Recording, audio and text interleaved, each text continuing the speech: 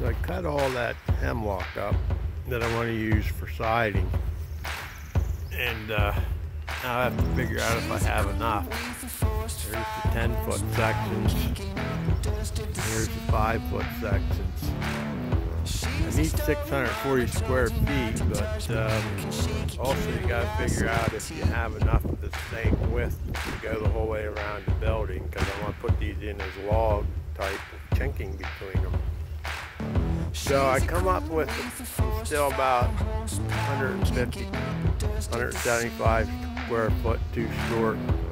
It looks like I'm going to need to cut down that uh, lean and hemlock up there to get the amount of siding I need. So put that on the list.